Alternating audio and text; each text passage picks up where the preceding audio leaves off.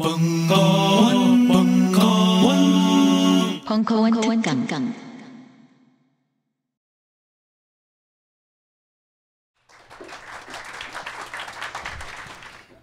네, 뭐 하는 거 다 알고 오신 거라고 믿고 있고요. 아무튼 앞으로 두 시간 동안 여러분은 어, 양저역학이라는 이름의 어처구니 없는 미로 속을 헤매다가 아무것도 알지 못하고 가시게 된다. 얻는 게 있다면은 아 이런 학문이 있고 이런 분야가 있고 이런 분야가 이런 얘기를 하는데 이게 SF나 환상의 얘기가 아니고 실제 과학에서 실제 현실에서 매일같이 쓰고, 쓰이고 있는 과학의 해석이 우리의 기존의 일상에 젖어 있는 세계관을 다 깰 수 있는 그래서 완전히 다른 세상으로 눈을 뜨게 만드는 그런 분야 중에 하나라는 거는 알고 가시게 될 거고요. 그래서 지난 100년 동안 이 양자역학이라는 분야를 두고 어떤 그 뭐라 그러죠? 논쟁이 오고 갔고 어떤 극단적인 해석의 가능성들이 계속 제기가 되는 그런 분야고요. 상대성 이론하고 양자역학은 그래서 현대 물리학의 2대 양대 산맥이라고 하는데 저희가 상대성 이론은 뭐 아시겠지만 여름에 이미 했습니다. 했는데 양자역학은 제가 잘 알지 못하지만 굉장히 좋아하는 네. 우리가 뭐 좋아한다고 알아야 되는 건 아니잖아요, 그죠? 네. 좋아하는 분야인데 좀 뭐 어려워서 무서워서 쉽게 덤비기 좀 어려운 그런 분야였고 어쨌든 그때부터 저는 이제 모시문은 김상욱 교수님을 모시려고 계속 마음을 먹고 있었죠. 그래서 소개를 드리면은 김상욱 교수님은 부산대학교 물리교육과 교수님이신데 양자역학의 전문가시고요. 그래서 아까 저, 저 광고 그래도 있지만은 그 Physical Review Letter인가요? 물리학계 아주 권위 있는 매거진의 연구가 몇 번이나 수록이 되시고 뭐 어차피 아무도 이해를 못하겠지만 거기 보니까는 양자 엔진이라는 얘기가 등... 정보 엔진이요. 예, 양 네. 정보를 가지고 엔진을 만든다고요? 그럼 그걸로 차를 움직일 수 있고 이런 건 아니겠죠, 설마 아니? 차를 움직일 수는 없지만 원리적으로는 가능하지만 아, 실제로 아, 예. 쓰이기는 거의 힘들 거고요. 네, 아무튼 뭐 나중에 아마 잠깐 얘기를 해주실지 모르지만 우리는 물론 이해하지 못합니다. 그런 기대들을 하지 마시자고요, 우리. 예. 여기서 우리가 할 수 있는 거는 교수님이 얘기하는 거를 아 그런가 보다 하고 고개를 끄덕이는 겁니다. 왜냐하면 100년 동안에 이제 쌓여 있는 그런 얘기들을 교수님이 해주실 거기 때문에 그래서 양자 정보를 가지고 엔진을 만들 수 있다는 얘기까지 나오는 분야인데 그게 얼마나 어처구니 없는지 오늘 듣다 보시면 아마 이해가 되실 거라고 생각이 되고요. 그래서 아무튼 네, 부산대학교 물리학과 교수님이신 김상욱 교수님 오늘 같이 하시겠습니다.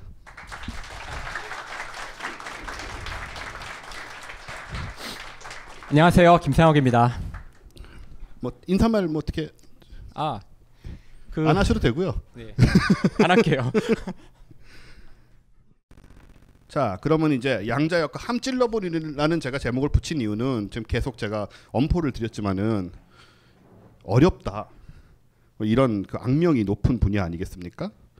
그래서 이제 처음에 우리가 이 얘기를 하려면 저는 일단 우리가 양자역학이 어렵다고 얘기하는 것 중에 하나가 개념이 기존의 물리학 개념이나 물리학적 세계관을 뭐 뒤흔들었다 이런 얘기들을 하는 것 같은데 근데 그걸 우리가 이해하려면은 기존의 고전적인 물리학 개념은 뭐였는지나 좀 알아야 뭐가 깨졌는지 뭐 뭐가 무너졌는지 알 수 있는데 여러분 잘 모르시잖아요, 그죠?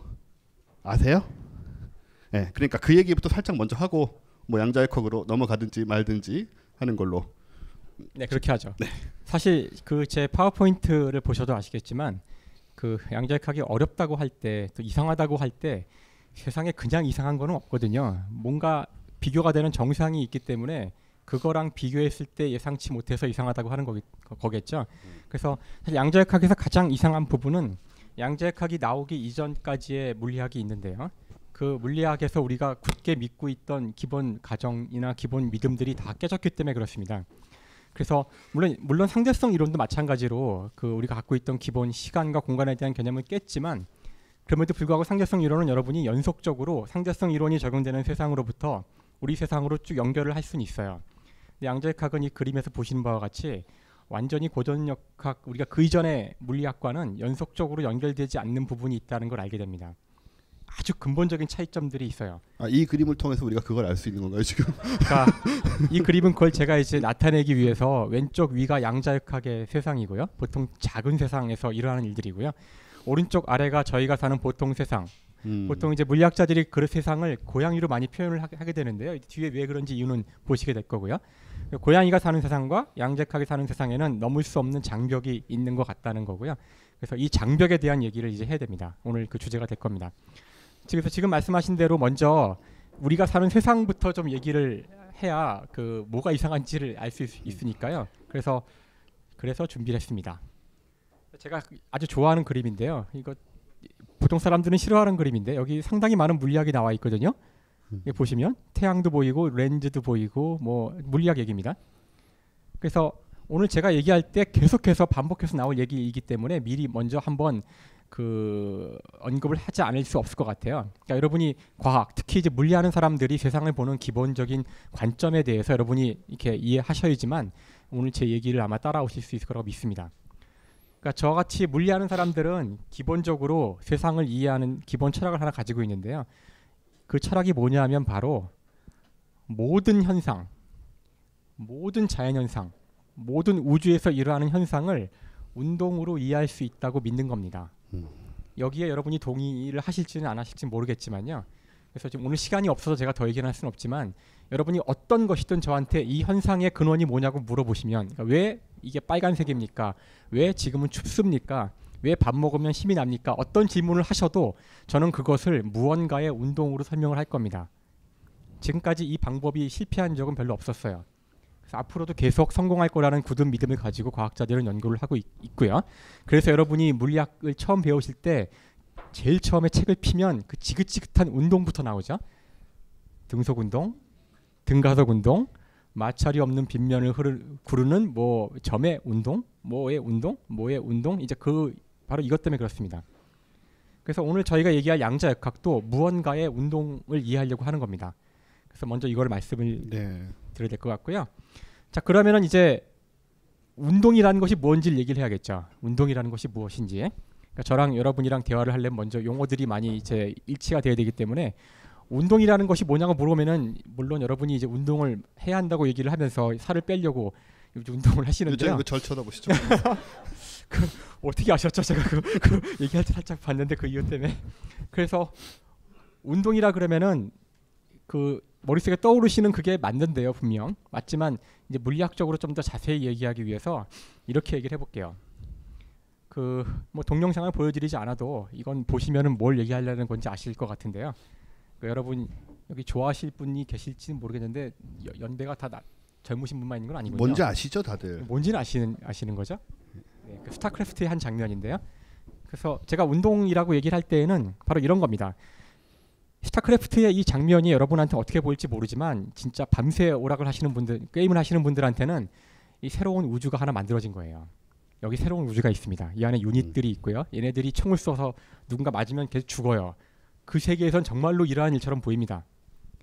여러분이 이걸 하나의 새로운 우주라고 만약에 상상을 해보신다면 이 새로운 우주를 만드는데 필요로 하는 것은 일단 유닛들이 필요하고요. 유닛들이 그 다음에 그 유닛들이 매 순간 어느 위치에 있는지만 여러분이 명령어로 다 지정해 줄 수 있으면은 새로운 우주가 만들어진 겁니다. 그 명령어들이 할 일은 그 다음 순간 유닛이 어디로 움직이는지 새로운 위치만 계속해서 얘기해 주면 되는 거예요. 실제 컴퓨터에서는 그 위치 정보들이 계속 시, 각각 바뀌고 있습니다. 따라서 이것을 여러분이 하나의 우주로 보신다면 우주를 만드는 방법은 간단한데요. 유닛과 여러분의 위치의 시간 변화를 결정해 줄 수 있으면 우주를 만들 수 있는 겁니다. 자, 이걸 여러분이 동의하신다면 지금 우리가 살고 있는 이 우주가 이것과 얼마나 다른지 생각을 해보세요. 똑같은 겁니다. 그래서 물리학자들은 컴퓨터 게임을 보는 그 시각으로 우리 세상을 바라보고요. 이 세상에서 일하는 모든 일을 이 안을 점하고 있는 유닛들, 여러분일 수도 있고 여러분 몸의 원자일 수도 있고요. 공기 분자일 수도 있고 자동차일 수도 있고 그것들의 위치들을 다 시간으로 기술하려고 하는 그것을 운동이라고 생각을 하고요. 그걸 다 알면 모든 걸 다 알았다고 생각하는 겁니다.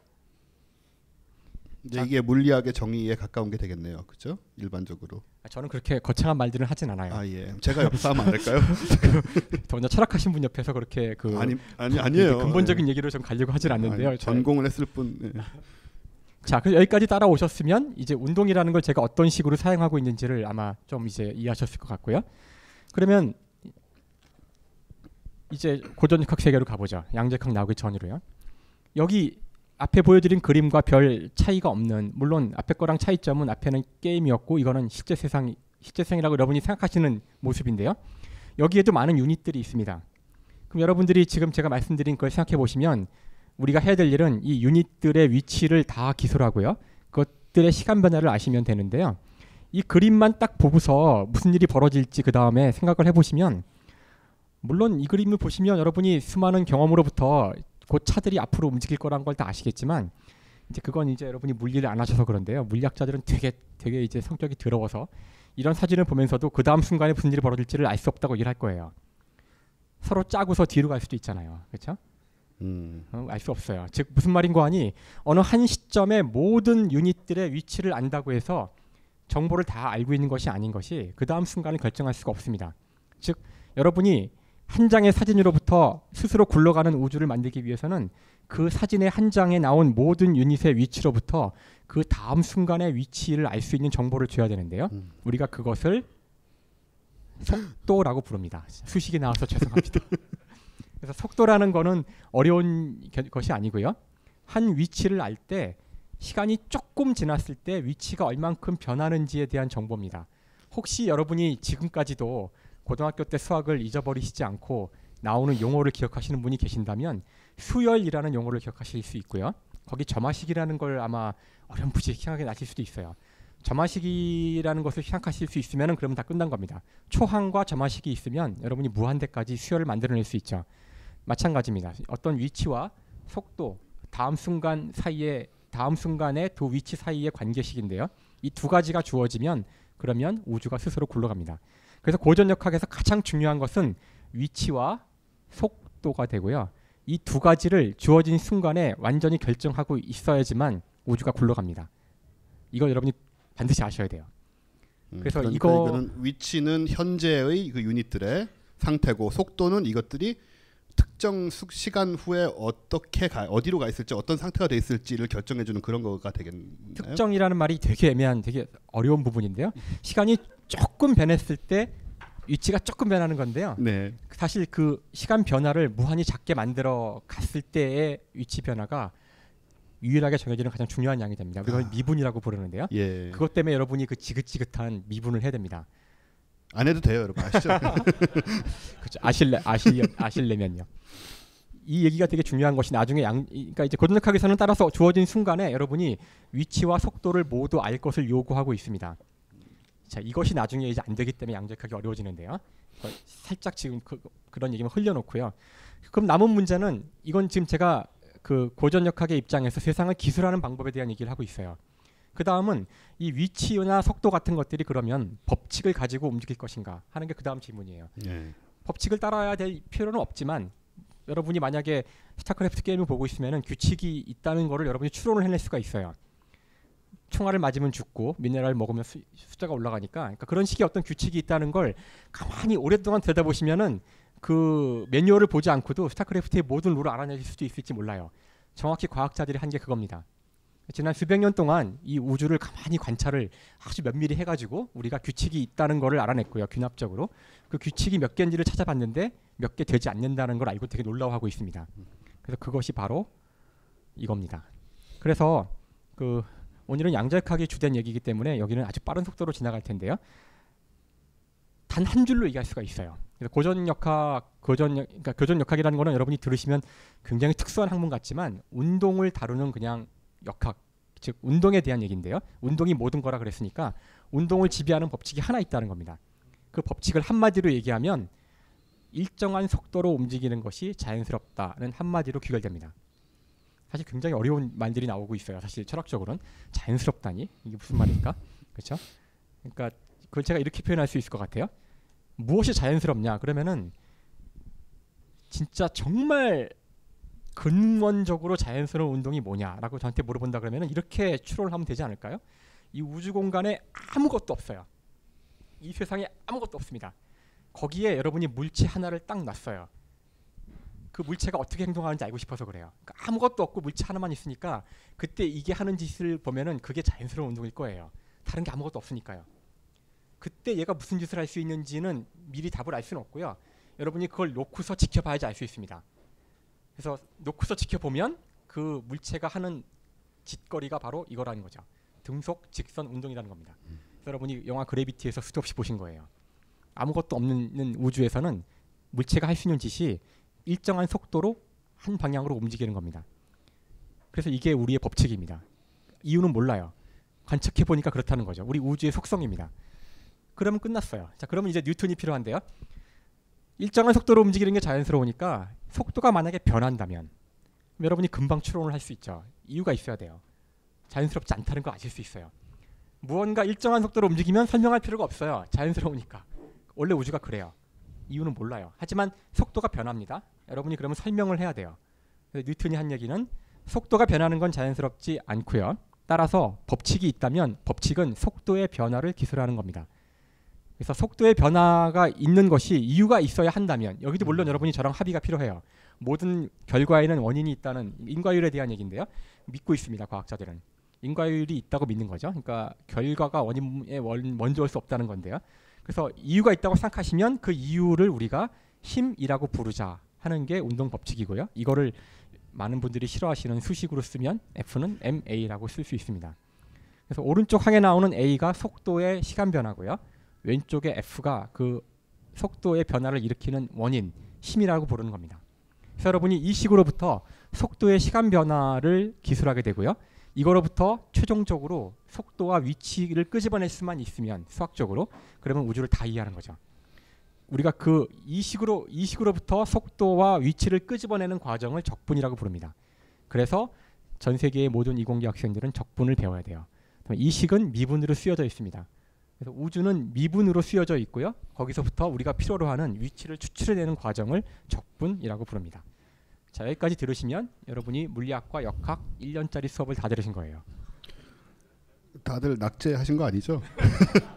요거를 제가 이제 여쭤보고 싶은 거는 우리는 살면서 자연스러운 상태는 아마 움직이지 않는 것 같이 느껴지잖아요. 그러니까 뭐가 여기 이렇게 놓여 있는 것도 얘가 안 움직이니까 우리는 항상 이게 정상적인 상황이라고 생각을 하는데 실제로 자연 우주에서는 등속 직선 운동을 하는 게 자연스럽다. 그 이제 그게 일단 우리가 일상에서 겪는 거하고는 하나의 차이점인 거죠. 그런 다음에 그게 자연스러우니까 자연스럽지 않은 즉 속도가 변한다거나 속도가 변하는 거는 정지한 게 출발하는 것도 속도가 변하는 거고 움직이는 게 멈추는 것도 속도가 변하는 거고 말 그대로 속도가 변하는 것도 변하는 거고 그런 것들은 자연스럽지 않으니까 자연스러운 건 놔두고 자연스럽지 않은 것들에서 법칙이란 거를 적용을 해서 그걸 이제 알아낸다는 이런 얘기가 되는 건가요? 예 맞습니다. 사실 대략. 지금 말씀하신 그게 쉬운 얘기가 아니에요. 저는 이거 절대 쉽다고 얘기 안 합니다. 이거를 사실 갈릴레오 전까지 몰랐거든요. 그러니까 아리스토텔레스가 얘기할 사실 아리스토텔레스 당대의 아주 위대한 과학자죠. 우리 주위에 보시면 모든 물체는 제가 이렇게 물체를 이렇게 뭔가를 작용을 주면 결국 멈춥니다. 그래서 아리스토텔레스는 멈춰 있는 것이 정지 상태가 자연스럽다고 얘기했어요. 그래서 무언가 일정한 속도로 움직이면은 무언가 밖에서 원인이 필요합니다. 그러니까 갈릴레오 이전의 과학이죠. 갈릴레오가 위대한 거는 여기서 도약을 하는 건데요. 사실은 등속으로 움직이는 게 자연스러운 거고 정지를 하는 이유는 그게 자연스러워서가 아니라 추가적인 다른 원치 않는 다른 정확한 표현으로 마찰력이라는 건데요. 그런 것들이 있어서 멈추는 거라는 거예요. 음. 사실 이건 굉장한 도약입니다. 그 도약을 한번 하게 되면은 이제 올바른 법칙이 나오고요. 이걸 가져야지만 세상을 이해할 수가 있죠. 그러게요. 그렇게 처음 생각하는 거 굉장히 어려웠을 것 같아요. 그 갈릴레오가 이런 추론에 도달하는 그 과정에 대해서는 고등학교 과정, 중학교 과정에 다 배우긴 배우는데요. 사실 근데 그렇게 해서 하긴 쉽지는 않을 거예요. 그 받아들이는 문제라고 생각을 하는데 그 비슷한 도약을 뉴턴이 사실 한 번 더 하는데요. 사실 뉴턴의 사과 얘기를 다 알고 계시지만 그, 그 정확한 답에 대해서는 잘 모르세요. 사실 그 사과를 놓으면은 땅으로 떨어지는데 뉴턴의 질문은 그거였죠. 달은 왜안 떨어질까 하는 거거든요. 그러니까 그거에 대한 당시의 과학자들의 답은 이런 거죠. 사과는 우리가 사는 이 지상의 물건이니까 땅으로 떨어지고요. 달은 천상의 물건이기 때문에 안 떨어진다는 거예요. 음. 아주 그렇듯하죠. 과학입니다. 이것도 관측에 근거한 과학인데요. 뉴턴이 여기서 어머 어머 어마어마한 도약을 합니다. 왜 달은 안 떨어질까? 왜 달은 안 떨어질까? 사실 제가 이걸 설명할 할 수도 없고요. 지금 시간이 부족해서 답만 말씀드릴 텐데 한번 음미를 해보세요. 뉴턴의 답은 이렇습니다. 달은 떨어지고 있어요. 달은 낙하하고 있습니다.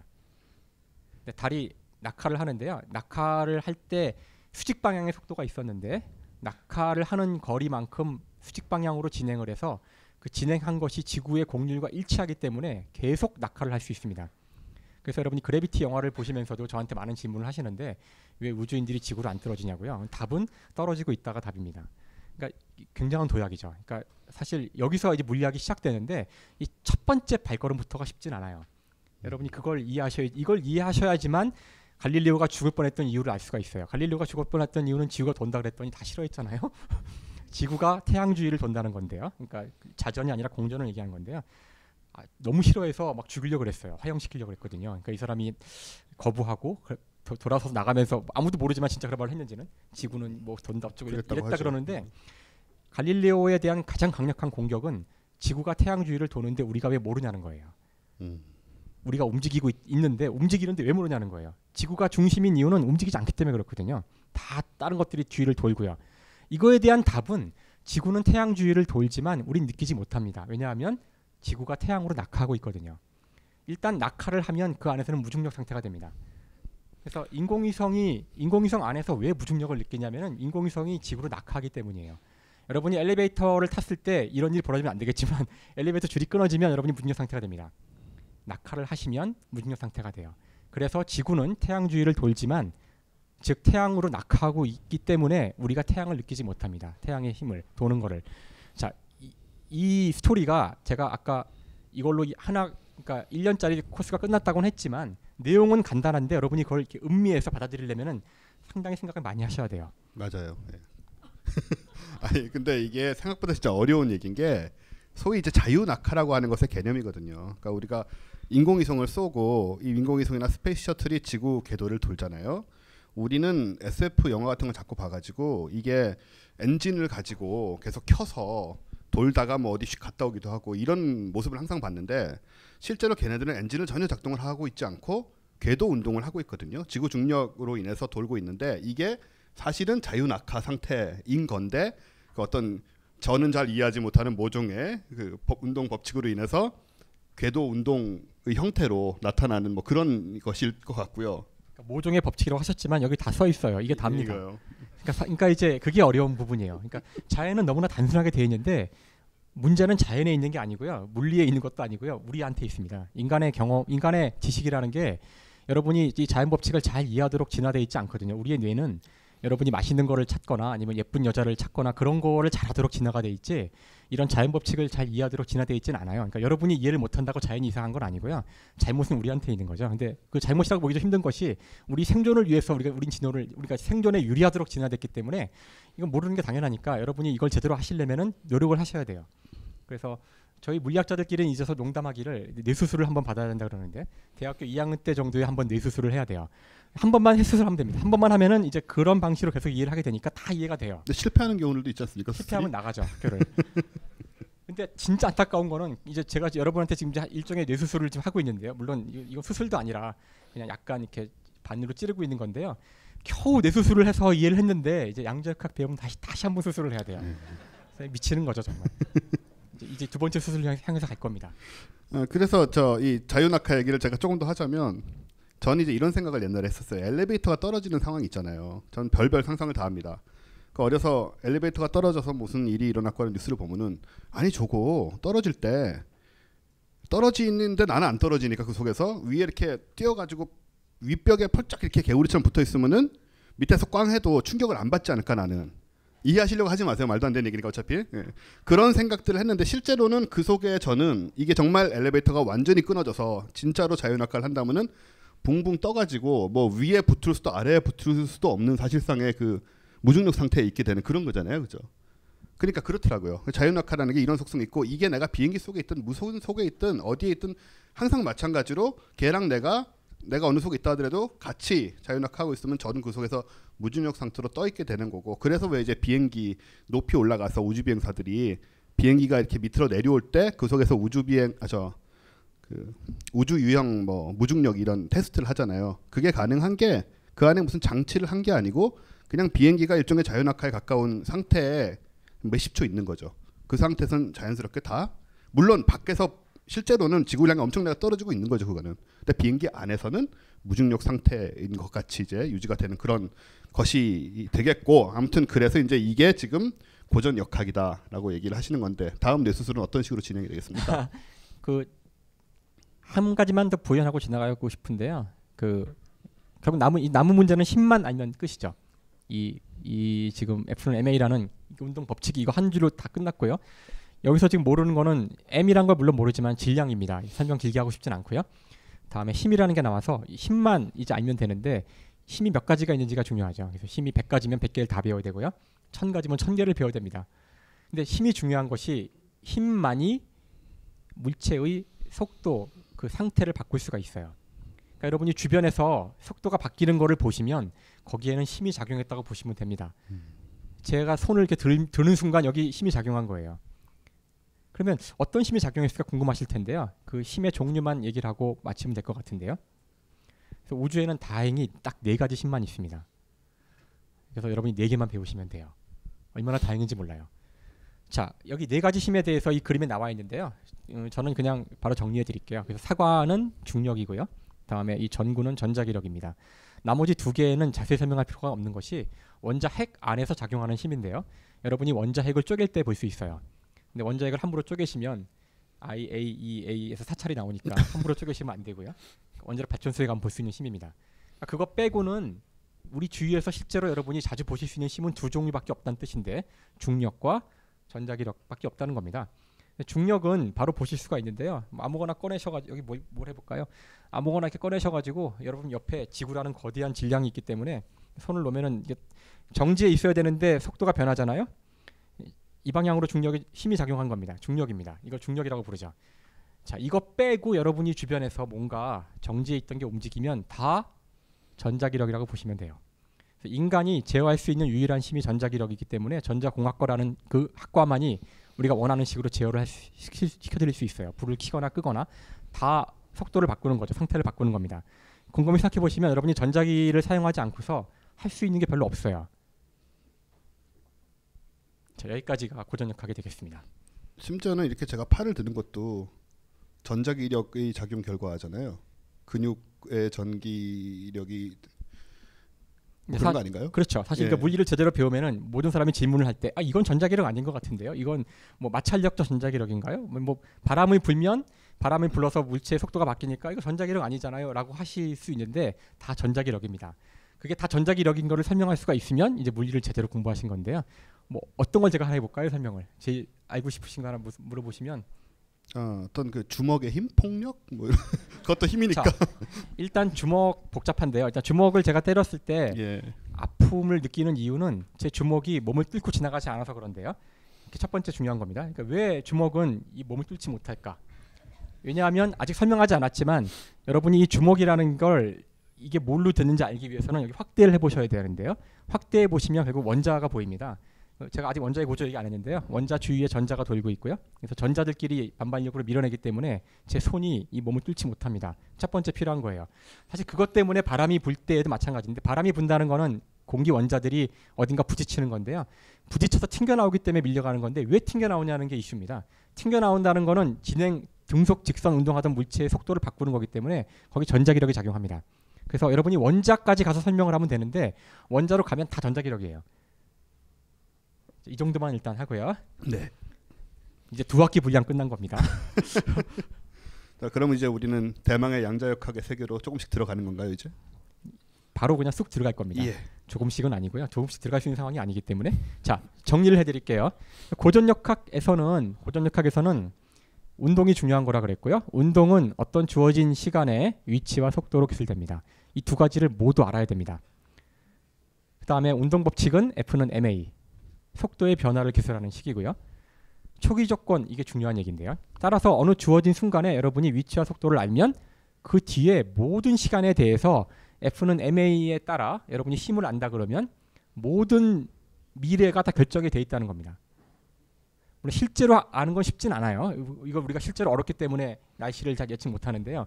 실제로는 어렵지만 원리적으로 원리적으로는 여러분이 어느 순간에 주어진 순간의 시간의 위치와 속도를 전부 다 알면 미래가 결정돼 있습니다. 이걸 거꾸로 얘기를 하면은 여러분이 오늘 여기 어떤 이유로 오셨는지 모르겠어요. 저는 여러분 각자는 다 자유의지로 왔다고 저한테 주장을 하시겠죠. 오늘 다른 약속이 있었지만 내가 캔슬하고 왔다. 뭐 이렇게 말씀하실지 모르지만 여러분이 지금 말씀드린 이 관점을 잘 생각해 보시면 여러분의 현재 자신의 위치라는 거는 어떤 힘 때문에 이전에 여러분의 위치로부터 여기까지 이렇게 F는 MA로 기술돼서 온 겁니다. 그러니까 여러분 현재 모든 위치는 한 1시간 전쯤 이 지구, 우주를 이루고 있는 모든 유닛들, 물체들의 위치에서부터 F는 MA에 따라 진행돼 온 거예요. 결정돼 있었던 거죠. 동의하시겠어요? 그래야 한다는 거잖아요. 지금 이게 한 시간이 너무 멀다고 생각하시면 1초라고 할게요. 지금 현재 여러분의 모습은 1초 전의 모습에서 온 겁니다. F는 MA에 따라. 이걸 여러분이 끄덕이시면 이제 말리는 거예요. 이제 1초를 제가 1시간 뒤로 밀 거고요. 1시간이 어제가 되고요. 그러니까 사실 여기 앉아 있는 건 어제 결정된 거고요. 그거는 금방 여러분이 태어난 순간으로 쭉 갈 수가 있겠죠. 여러분이 태어날 때 오늘 3월 6일 벙커 원에 앉아서 제 강연을 듣는 것이 예상돼 있었다는 거죠. 그러니까 1초의 고개를 끄덕이면 그렇게 계속 그렇죠. 연장될 수가 있는 거죠 원리적으로. 지긋지긋한 결정론 얘기입니다. 그래서 음. 그 거기까지 고개를 갸우뚱하시면 이제는 빅뱅까지 갑니다. 그러니까 여러분은 죄를 지어도 여러분 죄가 아니에요. 빅뱅 될 때 결정돼 있었던 거죠. 그러니까 사실 결정론의 무시무시한 결론인데요. 고전력학이 우리한테 얘기해 주는 거는 우주는 결정 다 돼 있고요. 초기 조건이 다 주어져 있으면은 그 이후의 미래는 우리가 바꿀 수가 없다는 겁니다. 따라서 죄를 지어서 내가 사람을 죽여도 나는 죄가 없어요. 빅뱅 할 때 결정돼 있었던 거니까 과연 그럴까요? 이거 지긋지긋한 문제입니다. 이 문제가 다시 나옵니다. 양자역학에서. 그러니까 지금 제가 얘기한 이런 하나하나의 중요한 것들이 양자역학에서 다 뒤엎어져야 되기 때문에 양자역학이 우리를 미치게 만드는 거죠. 자 이제 정리가 됐어요. 예. 그럼 이제 훌쩍 한번 들어가 보죠 양자역학에. 자 훌쩍 들어가기 위해서 그 두 번째 제가 아까 첫 번째 얘기를 할 때 했던 것처럼 다시 하나 하나의 제가 그 멘트를 날리고 시작할게요. 두 번째 얘기를 열면서는 어떤 얘기로 시작할 거냐면은 자연을 이해하는 가장 중요한 사실. 아까 제가 철학을 얘기했었고요. 중요한 사실. 또 파이만 얘기가 나오는데 파이만이라는 그 사람이 위대한 물리학자이기도 하지만 재밌는 말을 많이 해서 유명한 사람이거든요. 그 여- 여성 편력도 아주 심했고요. 그래서 아주 유명한 사람인데 이분이 한 얘기 중에 재밌는 얘기가 있어요. 항상 이 사람은 이런 질문도 이렇게 자연을 이해하는 가장 중요한 사실이 뭘까요? 이러면 참 재미없잖아요. 그래서 어떻게 얘기를 질문을 하냐면은 자, 지구가 망합니다. 뭐 종종 이- 종종 이러한 일이죠 SF에서 지구가 망합니다. 지금 지구에서 다른 사람들은 다 죽었고요. 이 벙커 원 안에 지금 한 중고등학생 한 10명이 살아남아 있어요. 남녀 한 남녀 비율 50대 50. 다 애들이고 저 혼자 과학자입니다. 근데 저도 곧 죽어요. 죽어가고 있어요. 제가 해야 될 일은 이 아이들한테 이제 내가 죽으면은 이 아이들이 다시 인간의 문명을 일으켜야 돼요. 얘네가 유일한 생존자니까 지구에 살아남은 인간. 그럼 얘네들한테 제가 한마디를 남겨서 얘네들이 다시 인간 문명을 일으킬 수 있는 중요한 키워드를 하나 주고 전 죽어야 돼요. 자, 당신이 그 과학 그런 과학자라면 당신이 할 한마디는 무엇인가 하는 거예요. 정말 머리를 좀 돌아가고 계시죠 지금 복잡하게. 정말 너무 음. 마음이 이런 이런 입장이 되면 참 마음이 아플 것 같은데 파인만이 그렇게 얘기합니다. 자기는 1초도 망설이지 않고 얘기할 게 있다는 거예요. 한마디로. 참 대단하죠, 정말. 그래서 제가 보여 드릴게요. 이거 한마디라는 겁니다. 인간의 과학 역사에서 알아낸 모든 내용 중에서 한마디만 나보고 고르라면은 이걸 고르라, 고르겠다는 겁니다. 모든 것은 원자로 되어 있다는 겁니다. 여러분이 주변에 보시면 삼남안상 우주의 가장 놀라운 경이로운 것은 다양하다는 거예요. 얼마나 다양합니까? 이분과 저를 보십시오. 이렇게 다 다릅니다. 다양하고 달라요. 다 색깔도 다르고 뭐 오만 가지 것들이 있어요. 이 방안을만 봐도 그렇지만 밖에 나가시면은 더욱 더 다양한 일들이 벌어지고 있어요. 하지만 이 모든 것이 다 따지고 보면은 원자라고 돼, 원자라고 부르는 똑같은 걸로 돼 있다는 겁니다. 물론 원자의 종류가 있지만 기본적인 구조는 똑같은 기본 단위가 있어서 그것들의 조합으로 돼 있다는 거죠. 따라서 모든 것이 원자로 돼 있다는 걸 여러분이 듣고 제가 처음에 얘기했던 그 물리학의 철학을 생각하시면은 따라서 우주에서 가장 중요한 학문, 가장 중요한 물리가 해야 될 가장 중요한 일은 뭐냐면 바로 이 원자의 운동을 이해하는 겁니다. 그래서 원자의 운동을 기술하는 원자 내부가 어떻게 돼 있고 그 내부를 이루는 기본 기, 기본 구성 물질들이 어떤 식으로 운동하는지를 기술하는 역학을 양자 역학이라고 부릅니다. 여러분이 양자 역학이 어떤 건지를 이제 아시겠죠? 원자를 기술하는 학문입니다. 기본적으로는 됐죠? 그럼 원자가 뭔지를 얘기를 해야 되는데 저, 사실 저랑 같은 세대 분들은 원자 원자를 영어로는 아톰이라 그러는데요. 애텀이라 그러면은 이제 떠, 떠오르시는 게 이제 왜 웃음이 나오죠? 이거죠. 그렇죠? 그래서 웃음이 안 나오는 거 보니까 이제 모르시는 분이 많으시는 것 같아요. 예. 원자는 아톰인데 아톰이 이거를 얘기하는 건 아니고요. 여러분이 고등학교 때 책에서 보신 이겁니다. 이거는 이거는 이제 21세기를 살고 있는 또는 20세기를 살고 있는 이 지구상 문명인이라면 다 알고 있는 거예요. 원자의 구조는 이렇게 생겼다. 가운데 플러스 전하를 가진 양성자가 있고 양성자 또는 중성자 원자 핵이 있고요. 그 주위를 전자가 뺑뺑뺑뺑 돌고 있는 게 이게 바로 원자고요. 오늘 제가 할 얘기는 바로 이 녀석의 운동을 어떻게 기술할 건지 하는 겁니다. 이거는 여러분 알고 계셨어요? 20세기 문명인이라면 누구나 알아야 되는 상식. 원자 핵이 있고 전자가 돈다. 뭐 대대략 그렇죠. 이런 그림인 거죠. 이런 네. 그림인 거죠. 네. 이거 이런 그림인 겁니다. 이게 바로 그 죽, 그 아까 죽으면서 과학자가 남겨야 될 한마디 말이 바로 이거였던 건데요. 얘, 얘에 대한 얘기죠. 근데 이 항상 우리가 그렇지만 무언가 대상을 알려고 할 때 제일 중요한 건 그 대상을 먼저 정확히 알아야 돼요. 그래서 이 그림이 갖고 있는 일단 허점을 제가 하나 짚어드리고서 이제 바로 양자격으로 들어갈게요.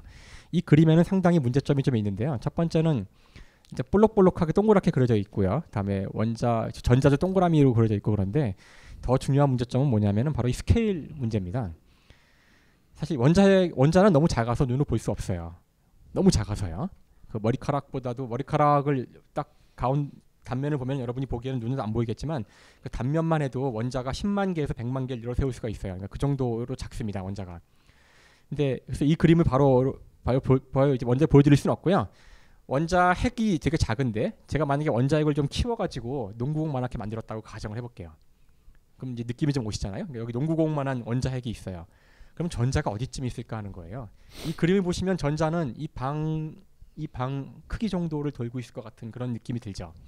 농구공 여기 원자핵이 있으면요. 실제로는 원자 중에서 가장 작은 원자인 수소원자를 예를 들자면은 모양이 이렇게 생겼습니다. 좀 지도가 나왔죠. 자 여기 A라고 되어 있는 데가 저희 위치예요. 벙커 원 위치인데요. 와 되게 섬세하세요. 이걸 또 찾아가지고 굳이 만들어보시고. 제가 새로 파워포인트 만들 때 언제나 하는 짓이 이것만 새로 그리는 겁니다. 있는 파워포인트 언제나 반복해 쓰고요. 여기 A라는 위치에 저희가 있습니다. 여기 농구공이 있는 거죠. 전자가 어디쯤 있냐면은 수소 원자의 경우에 그게 가장 작은 거예요. 전자가 잠실대교쯤 있습니다. 그다음에 전자는 크기가 없어요 거의. 자 이게 원자입니다. 자 여기 농구공만한 원자 핵이 있고요. 여기는 플러스 전하가 있고요. 다음에 잠실대교 정도의 전자 하나가 있는데 걔가 뺑뺑 돌고 있어요. 자, 그 사이는 다 빈 거잖아요. 바로 이 사이는 그걸 얘기하려고 그랬어요. 아 예. 그래서 그 여러분이 이걸 듣고서 느껴야 되는 가장 중요한 감정은 텅 비었구나 하는 겁니다. 근데 이거는 제일 작은 원자고요. 다른 건 더 큰데요. 그러니까 사실은 좀 큰 원자들은 농구공이 지구 중심에 있다고 했을 때 지구 반경 정도를 지구 표면 정도를 돌고 있어요. 전, 마지막 전자 같은 것들이. 그럼 그 사이는 뭐냐고요? 아, 텅 비어 있습니다. 여, 그, 여, 그 여러분이 정상적인 멘탈을 가진 사람이라면 바로 질문을 해야 돼요. 텅 비었는데 왜 꽉 차 있냐고 물어봐야 돼요. 그렇죠? 음. 꽉 차 있잖아요. 네, 그러게요. 답을 혹시 아실 수 있을까요? 아, 아까 답이 대충 나왔던 것 같은데. 답이 나왔죠. 예. 아까 제가 주먹 얘기를 했잖아요. 예. 예 사실은 꽉 차 있진 않고요. 텅 비어 있는 겁니다. 거의 거의 다 비어 있는데 단지 전자기력 때문에 가시광선이 얘를 통과 못할 뿐입니다. 가시광선이라는 전자기파가 여러분 이 원자 주위를 도는 전자 그 구조를 돌파하지 못하기 때문에 꽉 찬 것처럼 여러분이 착각을 하고요. 실제 만져봐도 전자기력 때문에 여러분이 글로 등속 운동을 못합니다. 걔가 밀어내기 때문에요. 그러니까 힘 때문에 그런 거지. 실 아직 실체란 말을 쓰기 싫은데 그 물질만 보시면은 그 물질이 이루는 것은 거의 미미하게 없어요. 그래서 사실 이, 이 부분을 여러분이 가시광선이 아닌 걸로 들여다 보시면은 아무것도 없습니다. 우주는 사실 거의 텅 비어 있어요. 우리도 다 텅 비어 있고 네, 텅, 비, 텅 비어 있죠. 전자기력이 아니면 여러분 전혀 아무것도 없는 겁니다. 아둥바둥하지 마세요. 뭐 이렇게 물질을 이렇게 취하려고 노력하지 마세요. 아무것도 없어요. 아무것도 없습니다. 아무것도. 자, 이게 우리가 이해해야 될 대상입니다. 이 원자만 가지고도 한동안 얘기를 할 수 있겠지만 이제 저는 그 양자역학을 불과 한 오늘 한 시간 반 만에 설명을 해야 되는 이런 말도 안 되는 상황이 주, 어지기 때문에 이런 상황에서 제가 할 수 있는 거는 가장 그 핵심이 되는 부분을 보여주는 하나의 예를 보여드리고서 전체를 다 그냥 그 한꺼번에 뭉뚱그려 넘어가는 겁니다. 그래서 이 원자 얘기를 제가 더 하면 좋겠지만 이제 원자 얘기는 할 수 없고요. 이 원자를 이루고 있는 가장 중요한 구성물 중에 하나인 전자. 제가 그리지도 않았지만 전자의 궤적만 그렸어요. 전자를 가지고 제가 실험을 해볼게요. 그래서 전자를 가지고 어떤 실험을 할 거냐면요. 물론 복잡한 실험을 할 수도 있어요. 여러분이 먼저 전자를 가지고 등속 운동을 시켜볼 수도 있고요. 다음에 돌려볼 수도 있고요. 때려볼 수도 있고 여러 가지 할 수가 있을 거예요. 근데 이제 제가 지금 할 거는 아주 허탈한 건데 사실 양자역학 공부를 하다 보시면 여러분이 아주 허탈한 질문들을 자꾸 해야 돼요. 제가 뒤에 자꾸 할 겁니다. 너무나 당연해서 그런 질문을 왜 하지 하는 하는 질문을 자꾸 해야 되는데요. 이 실험도 그렇습니다. 자, 제가 전자를 가지고 어떤 실험을 할 거냐면은 바로 이게 뭘로 보이세요? 네? 110V. 나쁘지 않습니다. 네. 젊은 분들은 110V 뭔지도 모르세요. 포즈. 예. 네? 아니요, 저기 일시 정지. 네, 맞습니다. 제가 좋아하는 답이에요. 아, 꼭한분 이런 분이 꼭 아, 계세요. 예. 꼭 이런 사람 꼭 있군요. 네. 네, 꼭 이제 중학교나 고등학교 가면 일시 정지가 꼭 나와요. 그 얘기가 일시 정지 좋습니다. 이럴 의도는 아니었는데 아, 예, 전 진실을 괜찮습니다. 그냥 얘기한 건데 예, 예. 왜 얼굴빛이 바뀌는지 아, 예. 모르겠지만 자 이 그림은 그냥 보시는 그대로가 답입니다. 여기 두 개의 구멍이 있는 거예요. 벽에 두 개의 구멍이 있는 겁니다. 제가 뭘 할 거냐면 여기다가 여기다가 전자를 던질 겁니다. 물론 전자가 아니어도 되죠. 여러분이 사과를 던- 던져도 돼요. 이런 말도 안 되는 실험을 할 거예요. 그럼 구멍이 두 개니까 이쪽 구멍으로 가거나 저쪽 구멍으로 가겠죠. 사과 같으면. 물론 구멍이 좀 커야 되겠죠. 사과가 지나갈 수 있을 만큼. 전자는 충분히 작기 때문에 구멍의 크기가 아주 작아도 괜찮습니다. 왜, 왜 이런 말도 안 되는 걸 할- 제가 하려고 할까요? 자 이제 곧 보시겠지만 바로 이 두 개의 구멍을 전자가 지나갈 때 무슨 일이 벌어지는지를 이해하는데 양자역학의 모든 게 다 들어 있습니다. 자 이제 보여드릴게요. 자 이건 얘기할 것 얘기할 필요도 없을 것 같지만 제가 다시 얘기를 합니다. 자 만약 여기다가 제가 전자가 아니라 여러분이 아주 친숙한 당구공이나 이런 공 같은 걸 던졌으면은 그 오른쪽 보시는 바와 같이 이 스크린 뒷면에는 두 개의 줄이 보일 거예요. 너무나 당연해서 얘기할 필요도 없는 것처럼 보이죠. 부딪힌 자국이 저렇게 남는 그렇죠. 거죠. 예, 부딪힌 자국을 제가 스크린이라고 부를 텐데요. 물론 뭐 벽에 맞은 거는 튕겨 나올 테니까 그건 관심, 관심사가 아니고요. 이 구멍을 통과한 것만 보는 겁니다. 그럼 이쪽 뒷면에는 이걸 총이라고 생각하셔도 돼요. 총알을 쏘면은 이쪽에 총알의 궤적이 남을 텐데요. 이렇게 두 개의 줄이 나올 겁니다. 너무 당연해서 얘기할 필요가 없다고 생각하실 것 같아요. 그 다음에 또 하나 당연, 당연한 얘기를 할게요. 이게 공의 경우는 분명히 한 번에 하나의 공이 위쪽 구멍 또는 아래쪽 구멍 하나만을 지나갈 겁니다. 왜 이런 말을 하죠? 너무 당연한 얘기인데 그렇죠? 네 됐습니다. 꼭 필요한 말이었어요. 자, 제가 여기다가 사실 공만 보낼 수 있는 건 아니고요.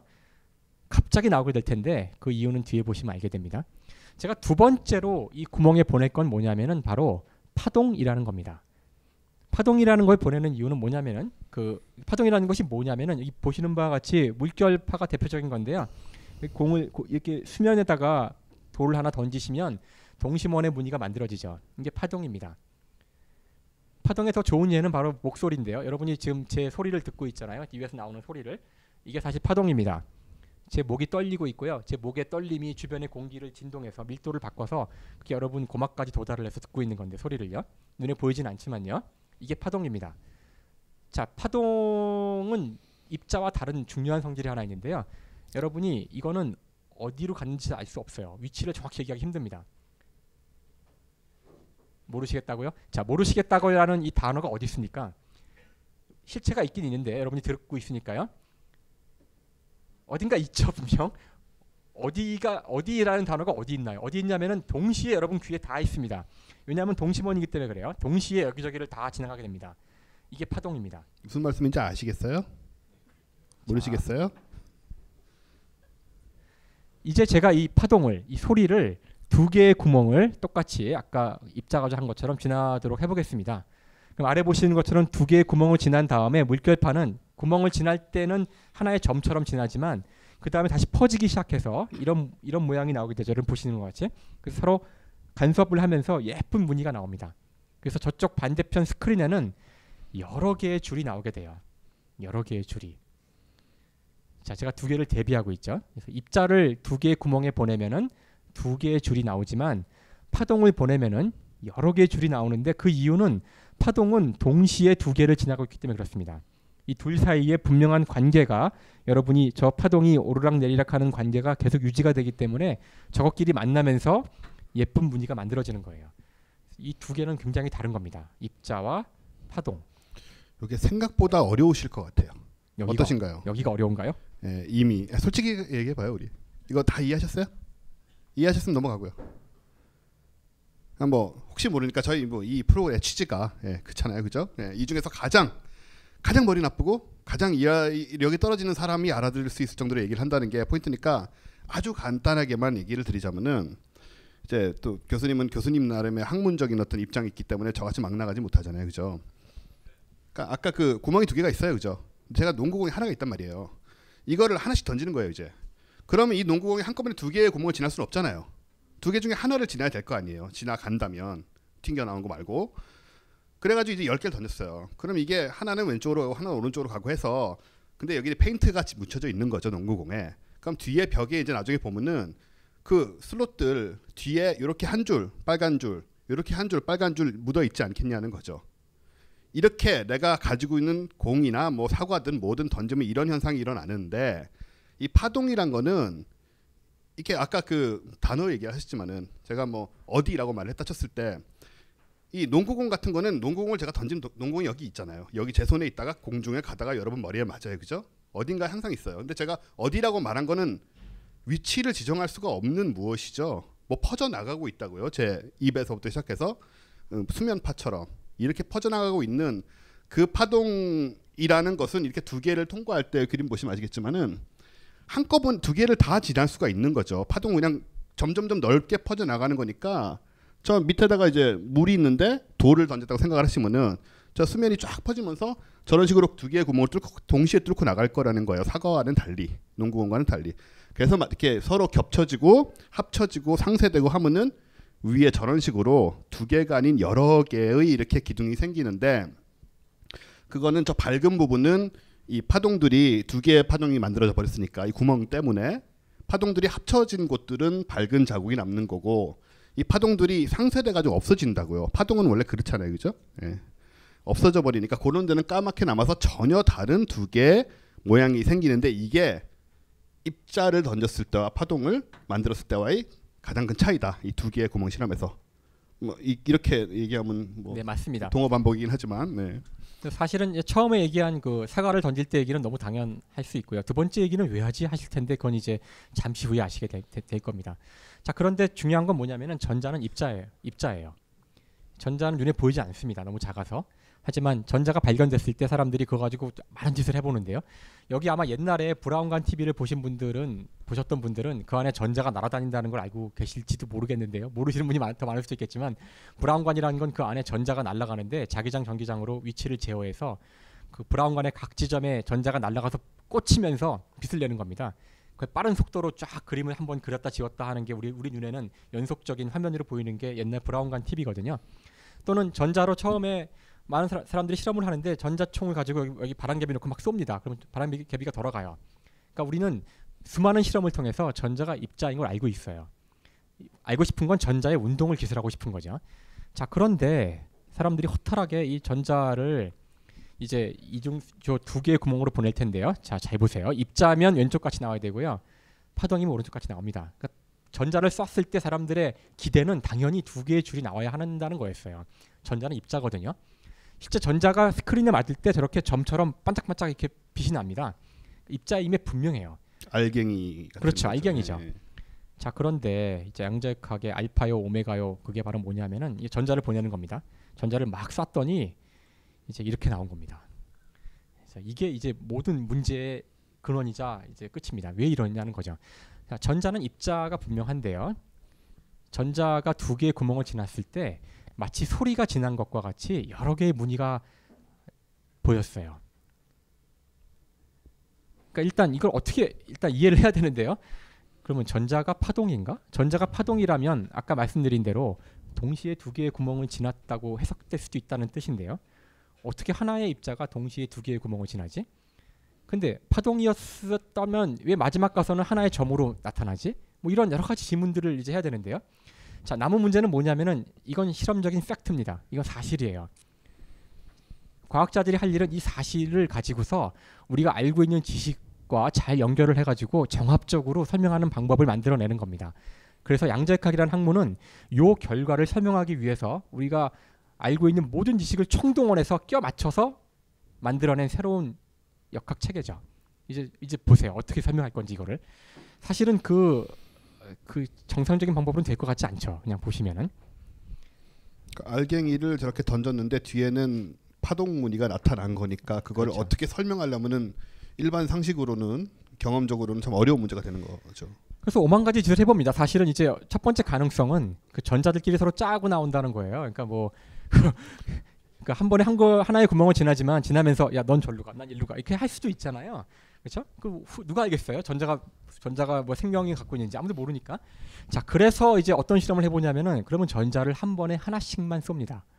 하나를 쏘고 가만히 기다려요. 그래서 걔가 날아가서 스크린상에 하나의 점만 번쩍 하거든요. 그러면은 그때까지 기다려요. 그리고서 두 번째 거 쏩니다. 그럼 두 번째 거는 첫 번째가 어디 가는지 모르잖아요. 그런 식으로 실험도 해봤는데 그렇게 하면은 물론 시간이 한참 걸리지만 하나씩 하나씩 보내니까 한참 시간이 지나면은 다시 이런 무늬가 얻어집니다. 그러니까 전자들끼리 짜는 건 아니라고 알고 있어요. 그래서, 그래서 여러분이 생각할 수 있는 모든 종류의 그 가능성들을 다 테스트를 해봅니다. 사실 제가 보통은 이제 이게 진짜라는 걸 보여드리려고 실험적으로 이제 하나씩 점이 찍혀가는 과정을 그 동영상 보여드리는데요. 그럴 필요는 없을 것 같아서 그 어쨌든 이거 정상적인 물리학자라면 아니면 일- 일반인도 조금만 이제 들은 다음에 설명을 딱 들은 다음에 이 장면을 보시면 멘붕해야 돼요. 자, 이거 설명해야 됩니다. 이거를 정합적으로. 실제 상황은 뭐냐면은 말씀드린 대로 점이 한 번에는 하나만 찍혀요. 입자니까 한 번에 하나씩 하나씩. 그래서 여러 개의 여러분이 실험을 반복해야지만 이렇게 바- 복잡한 여러 개의 줄무늬가 나오게 됩니다. 자, 그러니까 분명히 파동같이 그러니까 이제부터 제가 이제 말을 만들어 볼게요. 자, 전자는 파동처럼 행동하는 것 같아요. 일단. 그래서 두 개의 구멍을 동시에 지나는 것도 할 수 있다고 생각이 됩니다. 실제 물리학자들이 쓰는 표현이에요. 전자는 한 번에 두 개의 구멍을 동시에 지납니다. 그래서 이거가 말이 이상하니까 중첩이라는 새로운 용어를 만들어서 그러면 용어가 만들어지면 사람들이 헷갈려하니까 넘어갈 수 있잖아요. 자, 중첩 된 그 궤도를 두 개의 궤적을 지나서 파동처럼 행동합니다. 하지만 최종적으로 스크린에 도달을 해서 얘네들이 너의 정체성이 뭐냐고 물어볼 때는 다시 입자로 환원됩니다. 그래서 우리가 그거를 입자의 상태로 붕괴한다고 표현합니다. 자, 이게 양자역학의 해석인데요. 되게 싫으시죠? 이상하죠? 자, 제가 좀 더 얘기를 진행해 볼게요. 제가 한 얘기를 이제 좀 더 멋있는 말로 해석을 한 거니까 누군가 했겠죠. 근데 이, 이 경우는 누군가 이름을 따질 않고요. 이 해석이 이루어진 도시 이름을 따서 코펜하겐에 모인 과학자들이 한 해석이기 때문에 코펜하겐 해석이라고 부릅니다. 여기에는 굉장히 많은 이상한 내용들이 들어있는데 바로 여러분이 조금 전에 보신 그걸 설명하기 위한 겁니다. 자, 뭐냐면은 첫 번째 전자는 파동성을 갖는다는 겁니다. 분명 입자지만 파동의 성질을 갖는다. 그러면 말이 됩니까? 입자랑 파동은 다른 거라며. 네. 그래서 이중성이라고 부릅니다. 그래서 모든 세상의 물질은 입자성과 파동성 두 개를 동시에 갖는다고 얘기를 합니다. 그래서 우리가 이중성이라는 용어를 만들었고요. 첫 번째. 하지만 여러분이 관측, 관측이란 거는 실제로 어떻게 되는지 갑자기 여기서 관념론과 이제 뭐 실제론 같은 분- 분위기가 풍기기 시작하는데 여러분이 실제로 이것이 입자인지 파동인지를 알려면은 걔를 건드려 봐야 돼요. 얘가 지- 너 진짜 파동이니? 너 입자니? 하고서 뭔가 실험을 해서 관측을 하게 되면 이 녀석은 이중성 가운데 한 개의 성질만을 보여줄 수가 있습니다. 두 개를 동시에 볼 수 있는 실험은 디자인할 수가 없다는 것이 바로 보호가 얘기한 상보성인데요. 그래서 첫 번째 우주는 이중성을 가지고 있고요. 그 다음에 이 녀석을 관측을 할 때 변화가 일어납니다. 우리 실험에서는 언제 일어나는 거냐면은 우선 전자가 진행할 때에는 파동이었고요. 두 개의 구멍은 동시에 파동으로 지나고요. 마지막 스크린에 맞는 순간 얘가 입자로 환원됩니다. 그때 관측이 일어나는 거죠. 여러분이 전자가 스크린상에 어디 있는지를 물어보는 거예요. 위치를 측정하는 겁니다. 그때 관측이 일어나고요. 관측이 대상을 파동에서 입자로 변화시킵니다. 그래서 왼쪽에 보이는 바와 같이 공간적으로 퍼져 있던 파동의 형태가 측정이 되고 나면 하나의 점 입자로 확 바뀌는 일이 벌어지는데 실제 이런 게 일어난다고 얘기를 이제 하는 거죠. 그래서 코펜하겐 해석에서는 따라서 관측을 당하는 녀석과 관측을 하는 이 두 개로 우주를 나눠야 됩니다. 누가 관측하는지 누가 관측 당하는지를 먼저 얘기해야 되는데 여기서 이제 코펜하겐 해석의 기본 입장은 관측을 하는 거는 큰 세상 우리와 같은 이런 거시 세계 뉴튼 역학 고전 역학을 따르는 세계는 관측을 하는 주체가 되고요. 다음에 이 미시 세계는 관측을 당하는 객체가 됩니다. 그래서 관측을 하기 전과 후는 근본적으로 대상에 큰 차이가 생깁니다. 자, 이게 양자역학의 표준 해석인 코펜하겐 해석이에요. 이, 일단 여러분이 이거 받아들이시면 이제 여기서 제가 수많은 역설들을 얘기할 겁니다. 이- 괜찮으세요? 괜찮지 않으실 거예요. 괜찮지 않으실 네, 거예요. 괜찮지 않죠. 예, 이게 근데 어떻게- 그게 당연한 거죠. 아니죠. 당연하지 않죠. 이게 어떻게 괜찮? 이건 지금 미봉책이에요. 정말 그 나온 결과를 우리가 알고 있는 걸 총동원해서 막 그냥 껴막은 겁니다. 근데 문제는 이렇게 막아놔도 되느냐 하는 거예요. 이게 막아놓으면은 이게 자체 모순을 일으키지 않냐는 건데 이제 제가 그 얘기를 할 겁니다. 그걸 다 모순이 없도록 만들 수 있으면은 이제 우리가 모든 걸 다 이해한 건데 뒤에 보시겠지만 아직 그게 다 그렇게 완전히 모순이 없도록 모두가 동의하는 형태로 되어 있지 않기 때문에 아직 양자역학을 다 이해한 게 아니다 그런 말이 나오는 겁니다. 하지만 상황은 이래요. 이렇게만 가정하면 양자역학은 잘 작동하고요. 그래서 사실 양자역학 코펜하겐 해석을 만든 보호는 이렇게 얘기했어요. 우주에는 문제가 없어요. 이걸 이상하다고 느끼는 인간한테 문제가 있다고 얘기를 해요. 다음에 이중성, 파동과 입자는 원래 하나인데 인간의 언어가 파동과 입자라는 걸 따로따로 기술하는 언어와 인간 머릿속에 그 개념이 있기 때문에 문제가 생기는 거지 우주에는 그게 동시에 존재하는 자체가 자연스러운 거라서 문제가 없다는 거예요. 그래서 유명한 이제 비유를 듭니다. 그래서 여러분이 이 차원에 사는 사실 전에 상대성 이론 하셨으면 차원 얘기 좀 했을 것 같은데 네. 이정필 박사가 이 차원에 여러분이 우리 3차원 살지만 이 차원에 사는 생명체라면 여러분은 이 차원밖에 못 봐요. 이 차원 세계에는 두 종류의 동전이 살고 있습니다. 하나는 앞면이라는 동전이고요. 하나는 뒷면이라는 동전이에요. 이건 다른 거거든요. 여러분은 이 차원에 살기 때문에 면밖에 못, 보, 못 봐요. 아, 이 두 개는 다른 거구나. 굳게 믿고 있습니다. 근데 어느 날 어느 날 정말 뛰어난 사람이 나타나서 한 동전을 뒤집어 봅니다. 근데 뒤집는다는 개념은 없죠. 이 세계에는 3차원이 필요하니까 뒤집었더니 이게 웬걸? 앞면이 뒷면으로 바뀌는 거예요. 이게 이중성입니다. 이들한테는 뒤집는다는 개념이 없고요. 앞면과 뒷면은 서로 다른 용어입니다. 사실은 이거를 3차원에서 제가 봤을 때 정답은 뭐냐면은 이 사람들한테는 앞면과 동, 뒷면이 필요한 게 아니라 동전이라는 단어가 필요합니다. 그리고 뒤집는다는 개념이 필요합니다. 그러니까 양자역학이 우리- 우리한테 그런 거란 거예요. 그래서 이- 입자와 파동을 따로따로 아는 것이 양- 앞면과 뒷면이고요. 이 두 개가 동시에 있는 어떤 새로운 단어가 필요합니다. 개념이. 그리고 측정을 통해서 변화가 일어난다는 것이 뒤집는다는 건데요. 우린 그런 걸 본 적이 없어요. 한 번도 우리 경험 사회에서는. 하지만 우주는 그렇게 작동하고 있고요. 우리 우리한테는 그 개념을 받아들이는 것만이 남아 있다는 거예요. 보호의 입장입니다. 이 해석의 태도인 그 여러분이 받아들이셔도 되고요. 받아들이시지 않을 수도 있어요, 물론. 자, 이게 상황입니다. 이거 약간 짚고 넘어가야 될 것 같아요. 그렇죠? 아니에요? 괜찮아. 다 이해하셨어요? 2차원 이건 이해하셨어요? 예. 어, 이해하셨으면 다행이고. 근데 이게 지금 쉬운 얘기가 아니거든요, 사실. 다 얘기했어요. 남은 건 이제 여기서 나오는 그 이제 모순들만 얘기할 겁니다. 이제 이게, 이게 그러니까. 다예요. 이게 양자역학의 모든 거다 얘기하는 겁니다. 이거예요. 코펜하겐 해석. 음, 예. 아무튼 뭐 조금만 부연을 하자면은 이 세계가 지금 말씀하신 대로 이 세계는 우리가 경험적으로 살면서 눈으로 보고 경험할 수 있는 어떤 세계하고는 꽤나 거리가 있기 때문에 뭐 입자와 파동이 동시에 존재한다는 걸 여기서 그렇게 말을 해도 여러분께서 그걸 그리려고 하시는 거죠. 우리는 항상 그렇게 살아오니까 그 그림을 그리려고 해요. 아 입자고 동시에 파동인 건 무엇이겠다. 근데 안 떠오르는 거지 이게. 왜냐하면 우리 경험 세계 밖에 있기 때문이죠. 이런 것이. 이런 쪽으로 깊이 들어가서 측정을 하고 뭐 수학이 동원되고 새로운 개념이 가져 새로운 개념을 가져가야 겨우 그 그림자를 볼 수 있는 건데 그건 아까 이제 2차원 저 동전으로 설명을 하셨지만은 예를 들어서 우리 뭐 4차원 이런 얘기 많이 듣잖아요. 그죠? 여러분한테 제가 이런 거를 상상하라고 한번 주문을 해 볼게요.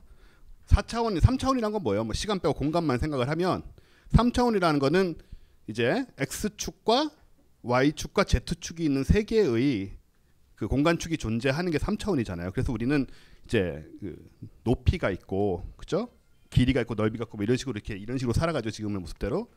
근데 여러분한테 만약에 좋아 4차원을 상상해 보자. 그러면은 야, x축, y축, z축, x축, y축, z축인가요? 아무튼 예. 세 개의 축에다가 이 세 개와 직각이 되는 축을 하나 더 세워봐라라고 제가 주문을 할수 있어요. 가능한가요? 이 세 개의 이 세 개의 축이란 거는 저도 어렵게 얘기하나요? 저도 예. 예, 사각형 이저 테이블의 구석에 있는 것 같은 이렇게 두 개의 선이 만나고 높이가 하나 있잖아요. 그 세상에 우리가 살아가거든요.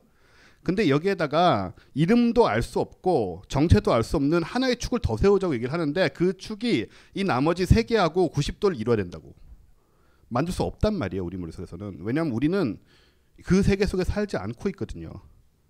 그렇기 때문에 이것을 이해하는 것도 말씀하신 대로 비슷한 맥락의 지적인 노력과 가정과 수학이라든가 이런 도구들이 동원되지 않으면은 받아들이기 굉장히 힘든 거 여기서 딱 막히는 거예요. 막히고 머리가 아프고. 그래서 이거를 직접 직관적으로 여러분들이 그림을 그리고 이해하려면 절대로 이해할 수 없고요. 정말 머리를 아까 말씀하신 대로 머리를 써가지고 한 걸음 한 걸음 여기에 접근하다 보면은 우리가 알지 못했던 이 세상의 그림자들이 이제 밟히기 시작을 한다. 이제 저는 대충 뭐 그런 식으로 접근을 경험을 했었어요. 저는 과학자가 아닌 일반인이다 보니까 예, 그런 어떤 무엇이다라고 저는 이제 이해를 했고 이제 조금 더 본격적으로 자 이제 핵심은 다 얘기했습니다. 그럼 이제 이 핵심 때문에 나오게 되는 여러 가지 이제 부산물들 또는 이제 모순들을 말씀드리면 될 것 같아요. 일단 이걸 받아들이시면 다시 돌아가서 봅시다. 그러면 도대체 이 파동의 정체는 뭐냐는 건 첫 번째 질문은 파동 좋아 파동처럼 행동하는데 그 파동은 뭐냐는 거예요. 소리 같은 경우는 파동이 그 공기의 밀도가 됩니다. 압력이나 그러면은 지금 전자가 파동이라고 할 때 질문을 하셔야죠. 무엇의 파동이냐? 라고 질문을 해야 됩니다. 그런데 이제 그거에 대한 답이 바로 여기 주, 여기 주어져 있는데요. 이 그림은 사실 굉장히 많은 전자들의 분포를 여러분이 보시는 거예요. 그렇죠? 사실 하나의 전자만 보냈으면 이런 패턴은 나오지 않습니다. 하나의 점이 있어요. 즉 전자의 파동성은 여러 개의 전자가 있을 때만 보인다는 거예요. 여기에 그 파동의 본질이 들어 있습니다. 자, 여러분이 주사위를 던졌을 때 1의 눈이 나올 확률이 6분의 1이라는 말씀을 하시잖아요. 그렇죠? 그 말뜻에 들어 있는 그 의미를 아시려면은 주사위를 한 번 던져서는 아무 의미 없어요. 그 확률이 6분의 1이란 말은 한 번 던지시면 눈금이 뭐 2가 나오거나 3이 나오겠죠. 하나의 정확한 숫자가 나옵니다. 여러분이 6분의 1이라는 확률을 얘기할 때 그 확률 값의 의미를 아시려면은 주사위를 여러 번 던져야 돼요. 그러면 여러분이 특별한 조작을 가하지 않아도 여러분이 굉장한 확신을 가지고 6,000번을 던지면 대략 1,000번 정도는 1의 눈이 나온다는 걸 알고 있습니다. 그게 일종의 패턴이라고 할 수 있죠. 자, 이게 정확히 그런 겁니다. 하나의 입자에 대해서는 여러분이 점이 하나만 찍힐 뿐이지만 여러 개가 모였을 때 이렇게 행동한다는 거는 하나의 입자에 대해서 이, 이 패턴이 뭘 의미하는지 여러분이 생각해 보시면 그건 바로 입자가 어딘가 가게 될 확률을 의미하는 겁니다. 그래서 막스 보른이 이 파동을 확률의 파동이라고 해석을 하게 됩니다. 그 얘기는 주사위를 여러 번 던지면 패턴이 나오, 나오죠. 그건 예상할 수가 있지만 여기 마찬가지 여러 개의 전자를 보내면은 양자역학은 우리한테 이 패턴이 어떻게 나올지를 정확히 예측하게 해주지만 개별 주사위 던지기에서는 뭐가 나올지는 아무도 모릅니다. 마찬가지로 개별 전자가 하나씩 갈 때에는 전자가 어디 찍히는지는 전혀 알 수가 없게 된다는 거죠. 그래야만 한다는 겁니다. 그 파동은. 즉 여기서 우리가 이제 불가지론이 들어오는 겁니다. 양자역학은 근본적으로 개별 사건에 대해서 예측 가능성을 갖고 있지 않습니다. 즉 결정론을 포기하는 겁니다. 뉴턴이 뉴턴이 갖고 있던 결정론을 포기하는 겁니다. 그래서 확률론이 들어오게 되죠. 파동이라는 게 우리는 자 공기의 파동이던가 아니면 뭐 수면파 물에 돌 떨어뜨렸을 때 수면의 파동이 일어나는 거잖아요. 그렇게 뭐 매질도 있고 이제 이런 걸 우리는 파동이라고 생각을 하고 그리고 그런 파동을 쐈을 때 아까 그 더블 구멍에 쐈을 때 그런 저런 모양이 나타나는 건데 이것은 그런 무슨 공기도 아니고 물도 아니고 아무것도 아닌 확률이 저런 파동을 만들어낸다라는 결국 그런 그 얘긴데 이게 굉장히 사실은 일반인들로서는 낯설고 이해하기 어려운 개념인데 실제로 저 그림을 만들어낸다는 거잖아요 지금 그죠? 그렇죠. 네, 그러니까 어렵죠. 제가 너무 무시하나요? 자꾸 어렵죠 하고 막 모르죠 하고 막 저는 아. 어렵거든요. 사실 확률이 도입됐을 때 물리학자들의 저항이 굉장히 거셌고요. 왜냐하면 그 자연 법칙, 특히 야- 물리학은 결정론적으로 되어 있어야 되고 그것은 모든 물리 현상에 대해서 예측 가능하게 하는 그런 것을 법칙이라고 믿어왔기 때문에 사실 양자역학이 그걸 포기해야 한다고 얘기했을 때 굉장히 많은 물리학자들이 저항을 합니다. 특히 그 저항에 선봉에 쓴 사람이 다른 사람도 아니고 아인슈타인이었고요. 아인슈타인이 죽을 때까지 양자역학을 거부하는 이유가 바로 여기에 있습니다. 이 확률 해석에 있습니다. 사실 이 확률 해석을 한 사람이 막스 보론이라 그래서 양자역학의 창시 그러니까 만들어지는데 굉장히 중요한 기여를 했는데 이거 해석을 하는 바람에 아인슈타인의 눈밖에 났고요. 그래서 노벨상도 굉장히 늦게 받습니다. 다른 사람들에 비해서 어쨌든 굉장히 물리학자들을 당혹하게 했던 양자역학의 첫 번째 중요한 철학적 귀결이고요. 자, 두 번째 얘기는 조금 더 미묘한데 자, 아까 제가 전자가 파동처럼 행동한다는 것은 두 개의 구멍을 동시에 지나간다는 뜻이라고 얘기했습니다. 왜냐하면은 만약 전자가 한 번에 한 개의 구멍을 분명히 지나갔다면은 줄이 두 개밖에 안 나와야 돼요. 왼쪽으로 갔거나 오른쪽으로 갔으면 줄이 두 개만 나와야 되는데 동시에 지나면서 파동처럼 서로 간섭을 사실 서로 여기 서로란 말이 웃기는 말인데 그래서 물리학자들이 쓰는 표현을 그대로 얘기할게요. 이건 디락이 한 얘기인데 그대로인데요. 이 경우 전자는 그 자기 자신이 그 자기 자신과 간섭한다고 표현합니다. 여러분이 여러분 자신과 간섭을 해서 이렇게 무늬가 만들어지는 거예요. 그 마음이 아프죠. 자 그러면은 그 너무 비참한 그 혼자 결혼하는 거죠. 우주의 본질이래요 이게. 자 그러면은 그 물리학자들이 보통 사람들입니까? 아, 보면 될 거 아니야 어디로 가는지 진짜로 동시에 두 개의 구멍을 지나는지 사진을 찍어보자 그렇지 않습니까? 그 전자가 지나갈 때 사진을 팡 찍으면 그러면은 음. 진짜 동시에 두 개를 지나갔다면 동시에 두 개가 지, 지나가는 모습이 딱 찍힐 거 아니에요. 그래서 사진을 찍는 걸 제가 이렇게 표현할게요.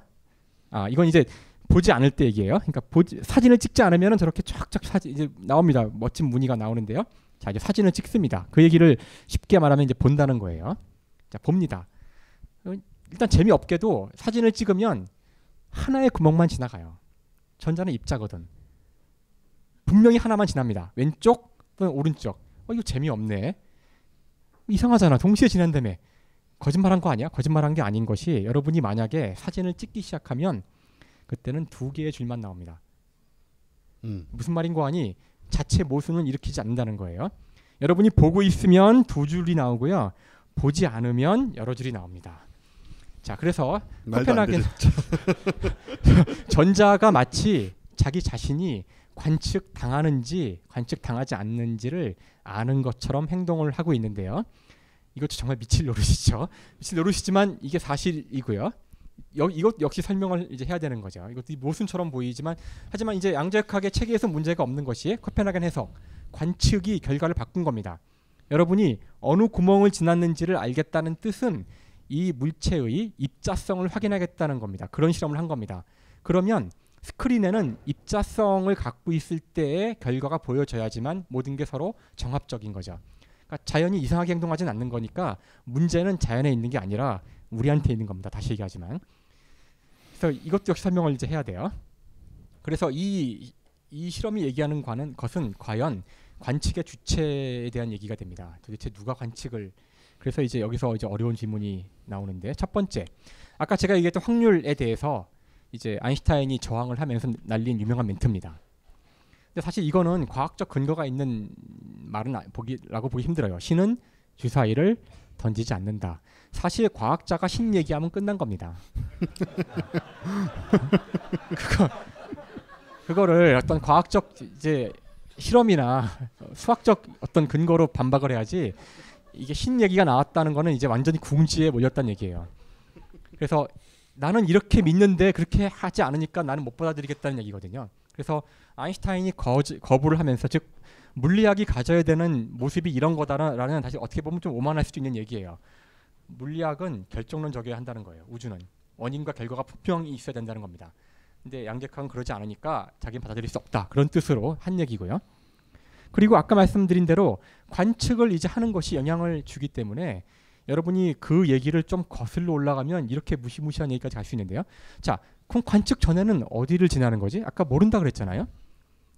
스크린에 맞기 전에 여러분이 보지 않으면 동시에 두 개를 지나는 것처럼 행동을 합니다. 보면 어딘가 지난 거고요. 그럼 이런 질문을 할 수도 있어요. 내가 보진 않았지만 사실은 오른쪽으로 지났겠지. 한 번에 한 구멍을 지났겠지. 근데 그러면 안 된다는 거예요. 그러니까 보진 않았지만 무슨 일이 일어났을 거라는 이런 가정 자체가 질문이 안 된다는 거예요. 그 질문이 만약에 그 질문에 대한 답이 네가 보지 않았, 않았을 때에는 왼쪽으로 지났는데 네가 안 봤을 뿐이다라고 하는 게 답이라면 여러 개의 문제가 나올 수 없습니다. 따라서 양자역학에서는 내가 보지 않았다면 어떤 것도 얘기해서는 안 된다는 결론에 도달합니다. 즉 관측 이전에 물 대상의 상태에 대해서는 우리가 알 수가 없는데요. 그거는 알 수 없는 게 내가 모르는 게 아니라 원리적으로 알 수가 없는 겁니다. 그래서 제가 이 물체를 봤더니 검은색인데요. 이거는 고전역학 입장에서는 원래 검은색이었기 때문에 제가 봤을 때 검은색인 걸 확인한 겁니다. 자, 고전역학은 그렇고요. 양자역학은 내가 보지 않았을 때에는 여기 뭐가 있는지도 얘기하면 안 돼요. 내가 보는 순간 여기 이 물체는 검은색으로 바뀐 겁니다. 그 전에는 무슨 색이냐고 모릅니다. 얘기하면 안 된다는 거예요. 그렇게까지 얘기를 진행시킬 수가 있는데요. 이제 거기에 대해서 아인슈타인이 이렇게 얘기합니다.